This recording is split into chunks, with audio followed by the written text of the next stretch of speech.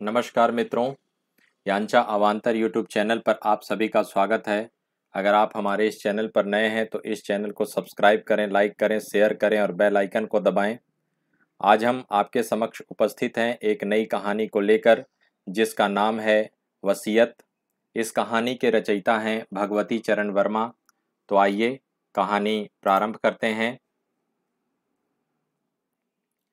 जिस समय मैंने कमरे में प्रवेश किया, आचार्य चूड़ामणि मिश्र आँखें बंद किए हुए लेटे थे और उनके मुख पर एक तरह की ऐठन थी, जो मेरे लिए नितांत परिचित सी थी, क्योंकि क्रोध और पीड़ा के मिश्रण से वैसी ऐठन उनके मुख पर अक्सर आ जाया करती थी। वह कमरा ऊपरी मंजिल पर था और वह अपने कमरे में अकेले थे, उनका नौकर बुधई मुझे उस कमरे में छोड़कर बाहर चला गया। आचार्य चूड़ामणि की गणना जीवन में सफल, संपन्न और सुखी व्यक्तियों में की जानी चाहिए, ऐसी मेरी धारणा थी। दो पुत्र, लालमणि और नीलमणि। लालमणि देवरिया के स्टेट बैंक की शाखा का मैनेजर था और नीलमणि लखनऊ के सचिवालय में डिप्टी सेक्रेटरी था। तीन लड़कियाँ थीं, सरस्वती, सावित्री और सौदामिनी। सरस्वती के पति श्री ज्ञानेन्द्र नाथ पाठक इलाहाबाद में पीडब्ल्यूडी के सुप्रिटेंडिंग इंजीनियर थे। सावित्री के पति श्री जय नारायण तिवारी की सुल्तानपुर में आटे की और तेल की मिलें थीं तथा सौदामिनी के पति संजीवन पांडे सेना में कर्नल थे और मेरठ छावनी में नियुक्त थे। आचार्य चूड़ामणि का और मेरा साथ करीब चालीस वर्ष पुराना था। एक ही दिन हम दोनों की हिंदू विश्वविद्यालय के दर्शन विभाग में नियुक्ति हुई थी। आचार्य चूड़ामणि रीडर बने थे और मैं लेक्चरर बना था। उनके अथक परिश्रम, अटूट निष्ठा तथा अडिग संयम का ही परिणाम था कि वे विश्व में भारतीय दर्शन के विशेषज्ञ माने जाते थे। प्रकांड पांडित्य के ग्रंथों से लेकर बीए की पाठ्य पुस्तकों तक अनेक ग्रंथों की रचना उन्होंने की थी। न जाने कितनी कमेटियों के वह सदस्य थे। हर एक विश्वविद्यालय उन्हें अपने यहाँ परीक्षक बनाकर अपने को धन्य समझता था। साथ ही बड़े कट्टर किस्म के ब्राह्मण थे वे। और तो और, मेरे घर की बनी हुई चाय तक उन्होंने कभी नहीं पी। महीनों उन्हें वाराणसी से बाहर रहना होता था, और तब वे सत्तू, दूध, फल तथा अपने घर में बने हुई मटरियों या लड्डुओं से हफ्तों काम चला लेते थे। वाराणसी के लंका मोहल्ले में उन्होंने दो मंजिला मकान खरीद लिया था, उसी में वह रहते थे। उनकी पत्नी तथा उनके पुत्रों ने उनसे कितना आग्रह किया कि वे कहीं खुली जगह में कोई कोठी बनवा लें, लेकिन उन्होंने कतई इनकार कर दिया। गर्मी में दो बार और जाड़ों में एक बार नित्य गंगा स्नान करके पूजा करना नियत सा था। जनवरी का प्रथम सप्ताह था, उस दिन जब वह गंगा स्नान करके लौटे। उन्हें कुछ ज्वर सा मालूम हुआ, उनकी पत्नी जसोदा देवी अपनी परंपरा के अनुसार लखनऊ में अपने छोटे पुत्र के यहाँ थीं उनके नौकर बुधई के ऊपर उनकी देखभाल करने का पूरा भार था। दोपहर के समय जब उन्हें पसलियों में दर्द भी मालूम हुआ, उन्होंने वैदराज धनवंतरी शास्त्री को बुलाया। वैदराज ने नब्ज देखकर काढ़ा पिलाया। निदान था कि सर्दी लग गई है, ठीक हो जाएगी। दूसरे दिन जब बुखार और तेज हुआ, तब उन्होंने डॉक्टर को बुलाया। डॉक्टर ने देखा कि उन्हें निमोनिया हो गया है। दोनों फेफड़े जकड़ गए हैं। उसने दवा दी। बीमारी के चौथे दिन आचार्य चूड़ामणि ने बुधई को भेजकर मुझे बुलाया था। थोड़ी देर तक मैं उनकी चारपाई के सामने खड़ा रहा कि वे आँखें खोलें। फिर हार कर मुझे ही बोलना पड़ा, गुरुदेव, आपका शिष्य जनार्दन जोशी आपकी सेवा में उपस्थित है। मेरा इतना कहना था कि आचार्य चूड़ामणि ने अपनी आँखें खोल दी। जनार्दन, मेरा अंत समय आ गया है।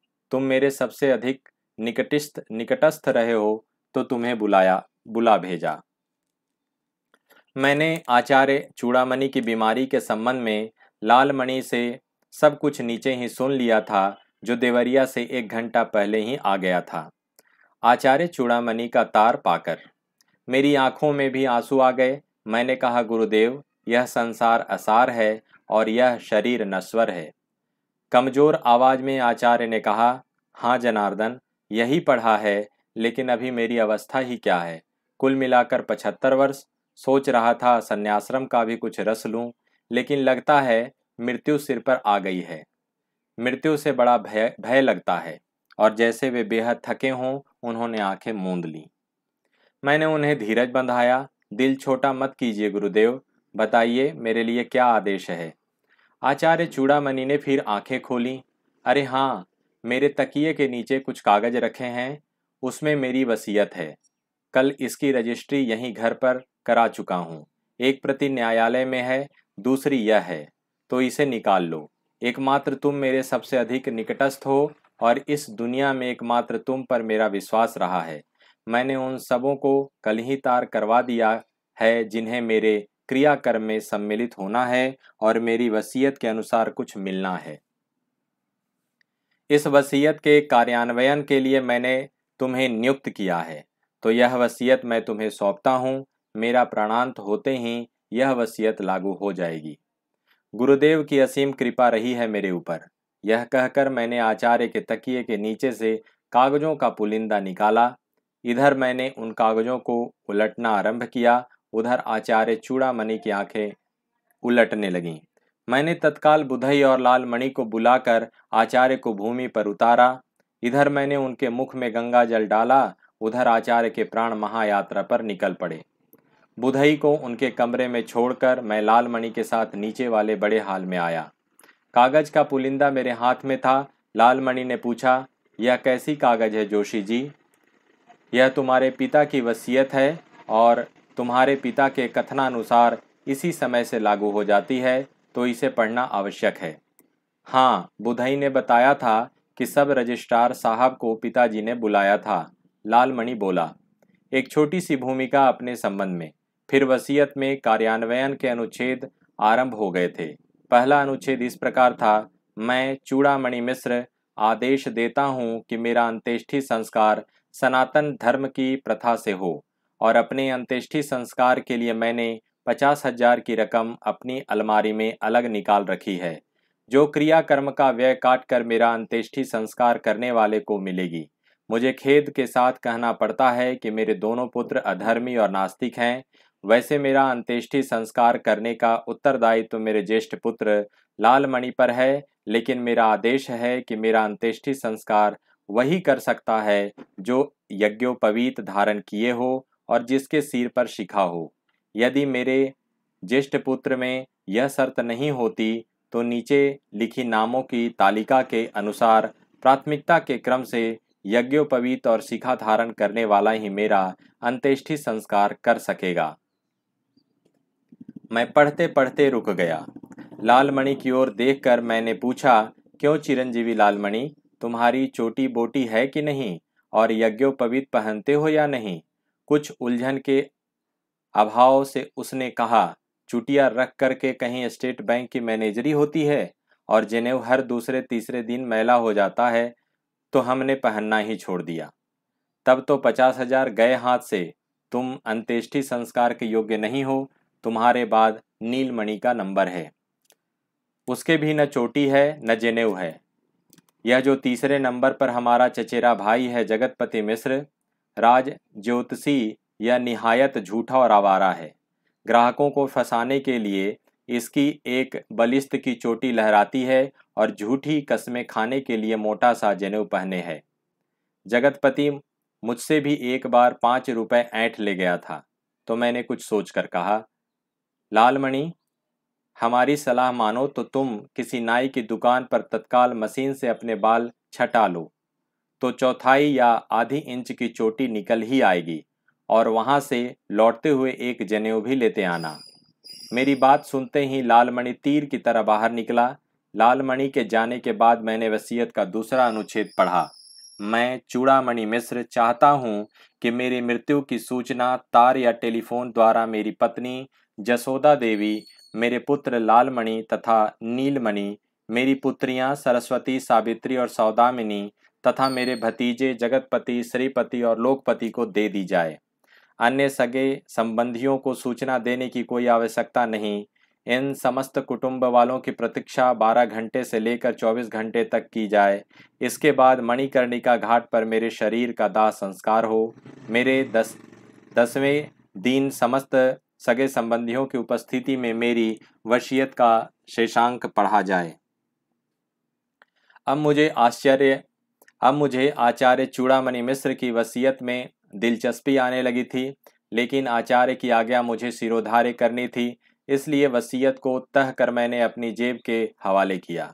आचार्य प्रवर का भौतिक शरीर अगले 24 घंटों में बिगड़ने न पाए, मुझे इस बात की चिंता थी, सौभाग्य से लालमणि वाराणसी आ गया था, और करीब आधे घंटे बाद वह चौथाई इंच लंबी चोटी धारण किए हुए नाई की दुकान से घर वापस आ गया। इस समय उसके कंधे पर एक मोटा सा जनेऊ भी लहरा रहा था। मैंने वसीयत का दूसरा अनुच्छेद उसे सुनाकर आदेश दिया कि वसीयत में बताए लोगों को तार या टेलीफोन से खबर कर दे, अपने चचेरे भाइयों के परिवार को बुला ले और एक सिल्ली बर्फ़ भी मंगवाकर आचार्य प्रवर का शरीर उस पर रखवा दे। दूसरे दिन सुबह नौ बजे आचार्य जी की शव यात्रा मणिकर्णिका घाट के लिए रवाना होगी। मैं सुबह सात साढ़े सात बजे पहुँच जाऊँगा। कितनी शानदार शव यात्रा थी आचार्य चूड़ामणि की। मैं तो दंग रह गया था। वाराणसी के सभी धर्माध्यक्ष और पंडित सम्मिलित थे उसमें। शर्मा शर्मो कुछ नेता भी आ गए थे।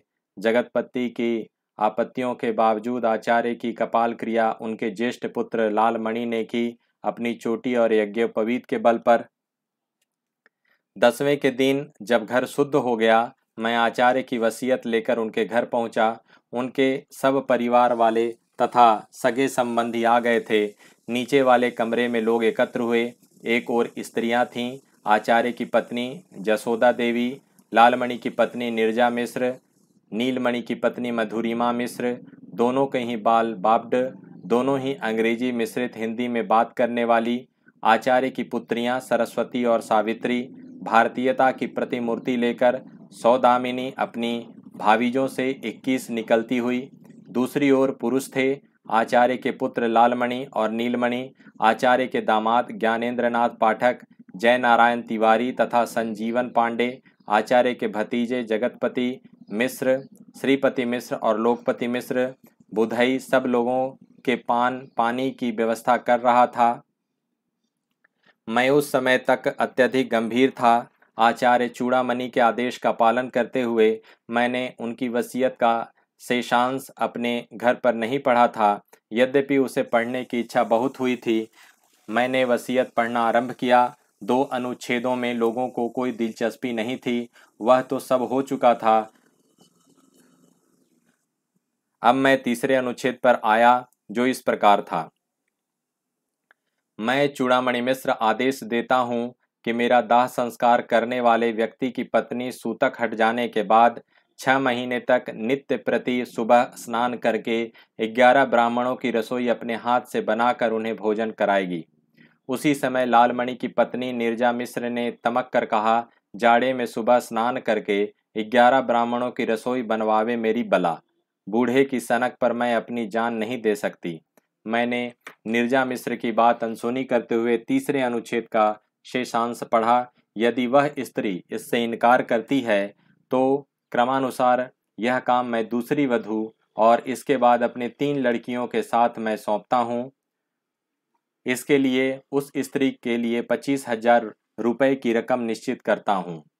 एकाएक मुझे मधुरिमा मिश्र की भारी और मोटी आवाज़ सुनाई दी, पिते, पिताजी का आदेश वेद वाक्य है मेरे लिए जीजी नहीं करती हैं तो न करें, मैं उनकी इच्छा की पूर्ति करूँगी। निर्जा एकाएक तड़प उठी। बड़ी इच्छा की पूर्ति करने वाली होती हो। ज़िंदगी में कभी रसोई बनाई है या अब बनाओगी? लखनऊ में बैरों से खाना बनवा कर खाती हो। मैं तो अक्सर अपने घर में रसोई खुद ही बना लिया करती हूँ। जहाँ छः सात आदमियों की रसोई बनाती हूँ, वहाँ ग्यारह आदमियों की रसोई बना लिया करूँगी। कुल छः महीने की तो बात है। और निर्जा ने मुझसे पूछा यह तो नहीं लिखा है कि गर्म पानी से स्नान न किया जाए। मुझे कहना पड़ा, यह शर्त लगाना वह भूल गए। निर्जा ने ताली बजाते हुए कहा तो फिर मुझे यह स्वीकार है, अब आगे पढ़िए। मधुरिमा मिश्र अपनी जेठानी को कोई कड़ा उत्तर देना चाहती थी, लेकिन नीलमणि बोल उठा, ठीक है, यह अधिकार भाभी जी का है। वैसे भाभी जी का मधुरिमा पर आक्षेप अनुचित है। मधुरिमा ने पचास पचास आदमियों का भोजन अकेले अपने हाथ से बनाया है। भाभी जी को अपने शब्द वापस लेने चाहिए। मैंने अपने शब्द किसी हालत में वापस नहीं ले सकती निर्जा ने चीख कर कहा। लेकिन वाह रे लालमणि, उस, उसने उठकर कहा, मैं निर्जा के शब्द वापस लेता हूँ, अब आप आगे पढ़िए। बात और आगे न बढ़े, मैंने वसीयत पढ़ना आरंभ किया। अनुच्छेद चार इस प्रकार है। मैं चूड़ामणि मिश्र अपनी पत्नी जसोदा देवी से जीवन भर परेशान रहा। अत्यंत आलसी, चटोरी और लापरवाह स्त्री है यह। मैंने तो दाल, भात और सत्तू खाकर जीवन बिता दिया, लेकिन यह हरामजादी मुझसे छिपाकर प्राय नित्य ही रबड़ी, मलाई और मिठाई खाती है। तभी जसोदा देवी ने चिल्लाकर कहा, हाय राम, यह सब लिखा है इस बुढ़वे ने? ऐसे खबोस आदमी के पल्ले में पड़ गई, इसे नरक में जगह न मिलेगी। घर वालों को सताकर जमा जत्था इकट्ठी करता रहा। नाश हो इसका। इसी समय लालमणि और नीलमणि ने एक साथ अपनी माता को डांटा, अम्मा, पिताजी को गाली मत दो। हाँ जोशी जी अपना आप आगे पढ़िए। मैंने चौथे अनुच्छेद का शेषांश पढ़ा। मेरी मृत्यु के बाद इस रांड को मेरे पुत्रों पर निर्भर रहना पड़ेगा। जो अपनी जोरुओं के गुलाम हैं, ये मेरी पुत्र बधुएँ, इसे भूखों मार देंगी। और इसकी बिगड़ी हुई आदतों के कारण इसे भयानक कष्ट होगा। इसलिए मैं जसोदा के नाम दो लाख रुपए छोड़ता हूँ, जिसके ब्याज पर यह मज़े में ज़िंदा रह सकती है। मैंने चौथा अनुच्छेद समाप्त ही किया था कि स्त्रियों के कक्ष में एक हंगामा सा खड़ा हो गया। जसोदा देवी, हाय लालमन के पिता, कहकर धड़ाम से ज़मीन पर लेट गई और अन्य स्त्रियों ने उन्हें घेर लिया। दस सेकंड बाद ही उन्होंने रोना प्रारंभ कर दिया तुम तो स्वर्ग चले गए। लालमन के पिता हमें इस नरक में छोड़ गए।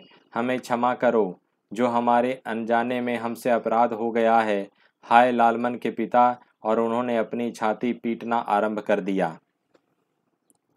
मैंने समस्त साहस बटोर कर कड़े स्वर में कहा, यह सब करना बाद में कीजिएगा। अभी तो वसीयत पढ़ी जा रही है। और जसोदा देवी की पुत्रियों ने उन्हें ज़बरदस्ती चुप कराया। मैंने अब पांचवा अनुच्छेद पढ़ना आरंभ किया। मैं चूड़ामणि मिश्र, अपनी पुत्री सरस्वती के पति ज्ञानेन्द्र पाठक से अत्यधिक खिन्न हूँ। एक हफ़्ता पहले मैंने यह खबर पढ़ी थी कि ज्ञानेन्द्र नाथ पाठक के विरुद्ध पाँच लाख रुपए गबन की इंक्वायरी की मांग उठ गई है असेंबली में। इसके अर्थ यह है कि यह ज्ञानेन्द्र पाठक बेईमान और रिश्वतखोर है। ज्ञानेन्द्र नाथ पाठक की ओर सब लोगों की निगाहें उठ गई और सहसा ज्ञानेन्द्र नाथ पाठक उठ खड़े हुए। यह बूढ़ा हमेशा का बदमिजाज और बदजबान रहा है।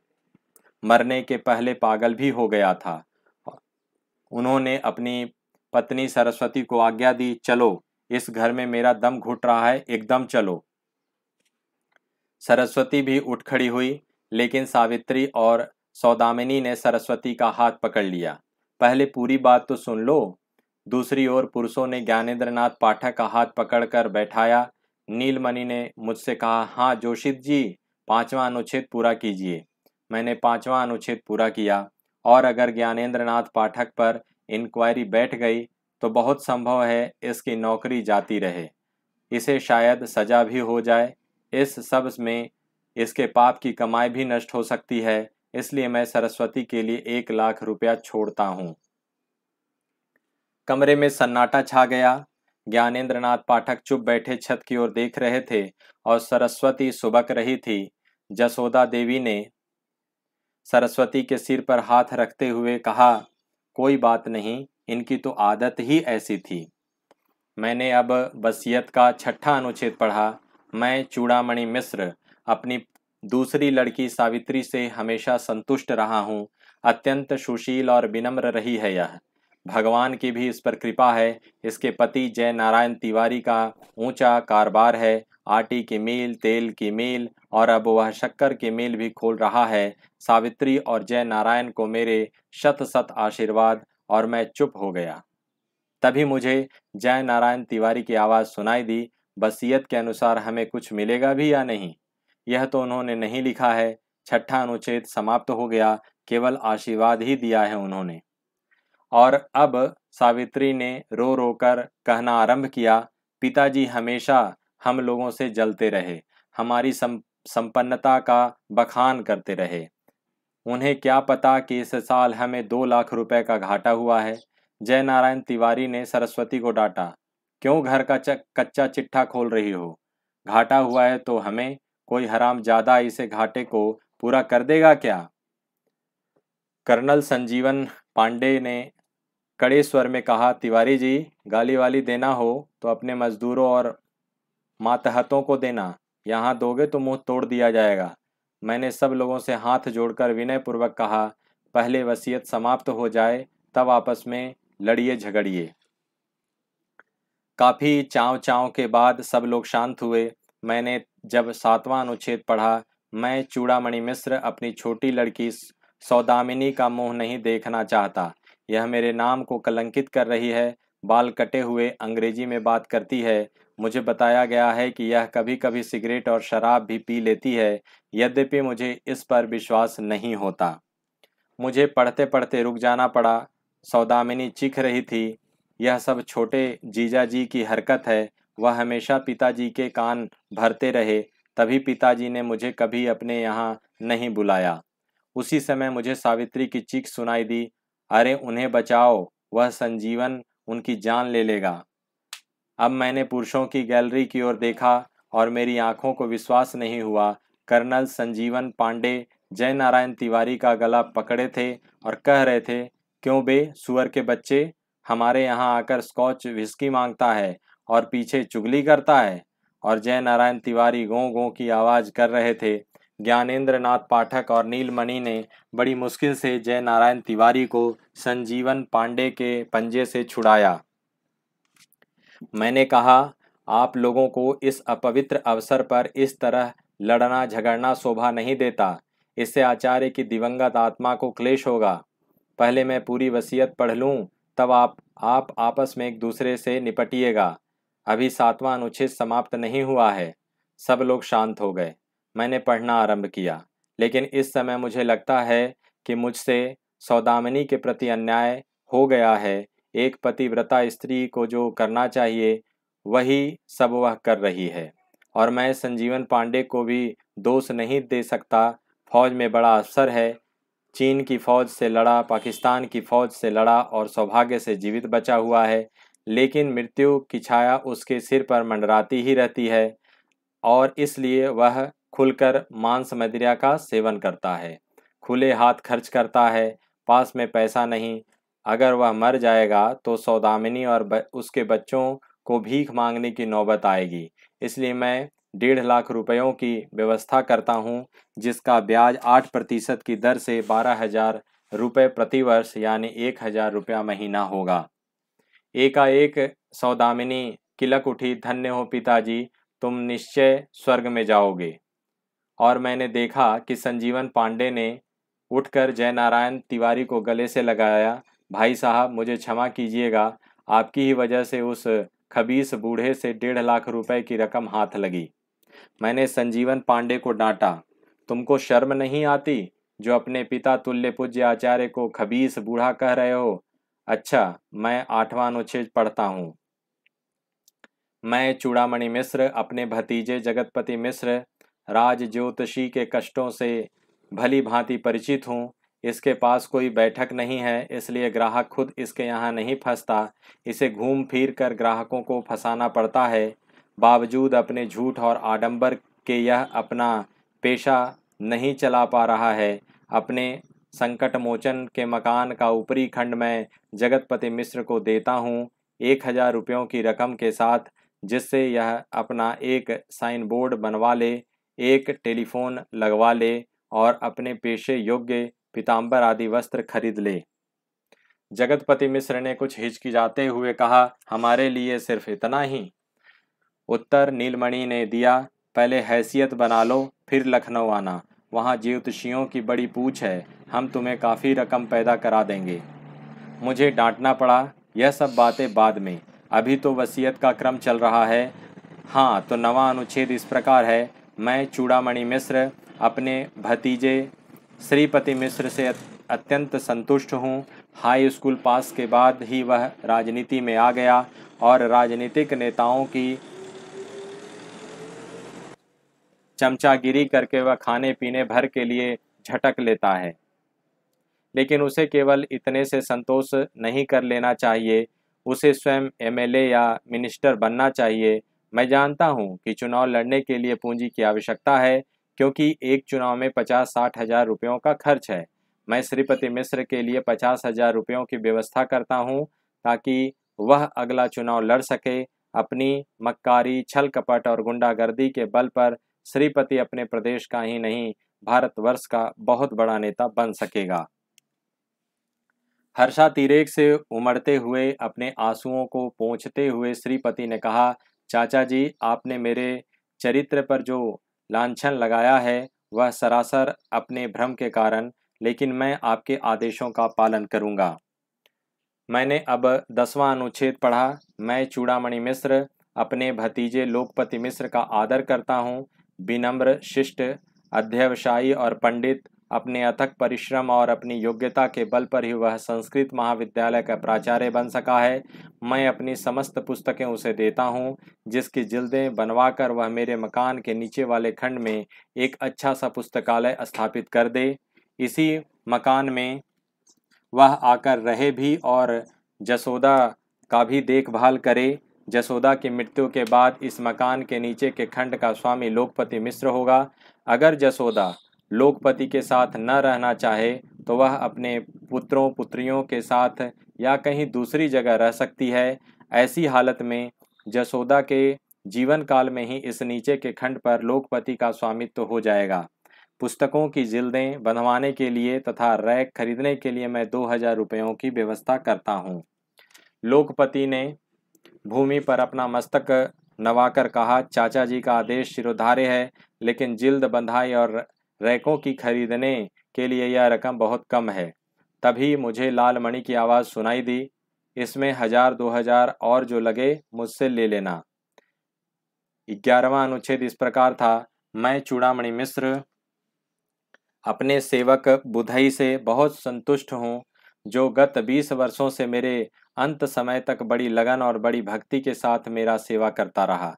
भोजन या मेरे यहाँ करता था, वस्त्र या मेरे पहनता था, अपनी तनख्वाह या पूरी की पूरी अपने घर भेज देता था। तो मैं आदेश देता हूँ कि मेरे समस्त वस्त्र, सूती, रेशमी, ऊनी, बुधई को दिए जाएँ। भंडार घर में जितना भी अनाज, घी, चीनी है, वह सब भी बुधई को दे दिया जाए और मेरी ओर से सौ रुपये देकर इसे भी विदा कर दिया जाए। यदि मेरे कुटुंब का कोई व्यक्ति बुधई को अपने यहाँ नौकर रखना चाहे तो मुझे कोई आपत्ति नहीं। जसोदा देवी ने कड़क कर बुधई से पूछा, कितना सामान है भंडार में? बुधई ने हाथ जोड़कर कहा, एक बोरा चावल, एक बोरा गेहूँ, पाँच किलो चीनी, एक मन गुड़ एक टीन घी और दो कनस्तर सत्तू है, दालें भी थोड़ी थोड़ी हैं। जसोदा देवी ने कहा, तेरे ही के दिन जो भोज होगा यह अनाज उसमें काम आएगा। बुधई को कैसे दिया जा सकता है? मुझे बोलना पड़ा, भोज का प्रबंध लालमणि को करना पड़ेगा, जिन्हें इस सब के लिए पचास हज़ार की रकम मिली है। लालमणि, अगर चाहें तो यह अनाज बुधई से बाज़ार के भाव पर खरीद लें। लालमणि ने कहा, यह सब बाद में देखा जाएगा। अब आप बसीयत का शेषांश पढ़िए। बारहवें अनुच्छेद की प्रतीक्षा में सभी लोग थे जो इस प्रकार था। मैं चूड़ामणि मिश्र अपने मकान के रूप में अचल संपत्ति तथा बैंक में जमा ग्यारह लाख रुपए की चल संपत्ति का स्वामी हूँ। यह ग्यारह लाख की रकम पिछले अप्रैल में मेरे नाम थी। ब्याज लगाकर यह रकम अब और बढ़ गई होगी। संभवतः इस राशि पर मृत्यु कर भी देना होगा। तो मृत्यु कर देने के बाद जो रुपया बचे, उसमें से इस वसीयत में निर्धारित राशियाँ बांट दी जाएँ और जो बचे, वह बराबर बराबर भागों में लाल मणि और नील मणि में वितरित हो जाए। मैंने कुछ रुक कर कहा वसीयत समाप्त हो गई है। केवल एक फुटनोट है मेरे लिए। अलग से अगर आप कहें तो उसे भी पढ़ दूँ? एक स्वर से सब लोगों ने कहा हाँ हाँ उसे भी पढ़ दीजिए। फुटनोट इस प्रकार था, मेरे परम शिष्य जनार्दन जोशी, तुम्हारा उत्तरदायित्व तो केवल इस वसीयत को मेरे परिवार वालों को सुनाना होगा। इस वसीयत की रजिस्ट्री हो चुकी है, जो अदालत में मौजूद है। तो जनार्दन, तुम इस वसीयत पर परिवार वालों के हस्ताक्षर लेकर अदालत में तत्काल जमा कर देना। जहाँ तक तुम्हारा संबंध है, तुम हमेशा भावनात्मक प्राणी रहे हो। तुम्हें भौतिक दर्शन पर विश्वास नहीं रहा है। न तुमने सौरल पढ़ा, न चारवाक का दर्शन पढ़ा। एकमात्र वेदांत के तुम पंडित रहे हो। मुझे तुमसे कभी कभी ईर्ष्या होने लगती है। कि कितना संतोष है तुम्हें। तुम्हारे मन में कितनी शांति है। मैं निसंकोच कहता हूँ कि तुम मेरे सबसे अधिक निकटस्थ हो। मैं तुम्हें अंतिम उपहार के रूप में अपना परम प्रिय तोता गंगाराम भेंट करता हूँ, जिसे मैंने अपने प्राणों की तरह पाला है। जब तुम अदालत से इस वसीयत को जमा करके जमा करके लौटना, तब बुधई से गंगाराम को ले लेना। मैंने घड़ी देखी, दस बज चुके थे। मैं उठ खड़ा हुआ, अदालत खुल गई होगी, मैं पूज्य गुरुदेव की आज्ञा अनुसार यह वसीयत वहाँ जमा करके वापस लौटता हूँ। अदालत में अधिक समय नहीं लगा, बारह बजे ही मैं लौट आया, बुधई ने तोता का पिंजरा मुझे थमा दिया। लंका से अस्सी घाट अधिक दूर नहीं है, जहाँ मेरा मकान है। पिंजरा हाथ में लेकर मैं पैदल ही चल पड़ा। उस समय मेरे मन में परम संतोष था। आचार्य इतने संपन्न और इतनी स्थिर बुद्धि के आदमी होंगे, मैंने पहले कभी कल्पना न की थी। मैं इस पर सोचता, मगन भाव में चल रहा था कि मुझे सुनाई पड़ा, तुम बुद्धू हो। मैं चौंक पड़ा, बिल्कुल साफ़ आवाज़। और मैंने अनुभव किया कि यह आवाज़ तोते के पिंजरे से आई थी। इस आवाज़ को सुनकर मेरे विचारों ने पलटा खाया, आचार्य ने लाखों रुपए उन लोगों को बांट दिए जिनसे वे बेहद नाराज़ थे, जिन्हें वे गालियाँ देते थे, लेकिन मेरे लिए उन्होंने एक पैसे की भी व्यवस्था न की। आज मुझे आचार्य चूड़ामणि पर कुछ झुंझलाहट होने लगी। इस झुंझलाहट के मूड में मैं तेज़ी से डग बढ़ाकर चलने लगा। तभी मुझे पिंजरे से सुनाई पड़ा, मैं पंडित हूँ। बड़ी साफ़ आवाज़, जैसे आचार्य चूड़ामणि स्वयं बोल रहे हों तो आचार्य एक मूल्यवान उपहार मुझे दे दे गए हैं। अस्सी घाट सामने दिख रहा था कि मुझे फिर सुनाई पड़ा, तुम बुद्धू हो। आसपास के लोग मुझे और मेरे हाथ वाले पिंजरे को देख रहे थे और मुझे लगा कि आचार्य चूड़ामणि अपनी वसीयत में मुझे ठेंगा दिखाकर मेरा उपहास कर रहे हैं। मेरा अंदर वाला वेदांती न जाने कहाँ गायब हो गया। मैं तेज़ी से अपनी घर की ओर न मुड़कर गंगा जी की ओर चलने लगा। तभी पिंजरे से सुनाई पड़ा, मैं पंडित हूँ। सामने गंगा जी लहरा रही थीं। मैंने आचमन करते हुए कहा, आचार्य, तुम पंडित थे, इससे कोई इनकार नहीं कर सकता। तुम्हारी आत्मा को शांति मिले। और मैं अपने घर की ओर चलने को उद्यत ही हुआ कि गंगाराम बोल उठा, तुम बुद्धू हो। जैसे सिर से पैर तक आग लग गई हो मेरे, मैंने पिंजरे की खिड़की खोलते हुए कहा, मैं बुद्धू हूँ, यह मानने से मैं इनकार करता हूँ। हे गंगाराम, मैं तुम्हें मुक्त करता हूँ। मेरे कहने के साथ ही गंगाराम पिंजरे से उड़ गया और मैं घाट पर खाली पिंजरा छोड़कर घर की ओर चल दिया। तो ये थी कहानी वशियत अगली कहानी के साथ हम आपके समक्ष फिर उपस्थित होंगे। तब तक के लिए इजाज़त दीजिए। नमस्कार। जय हिंद। जय भारत।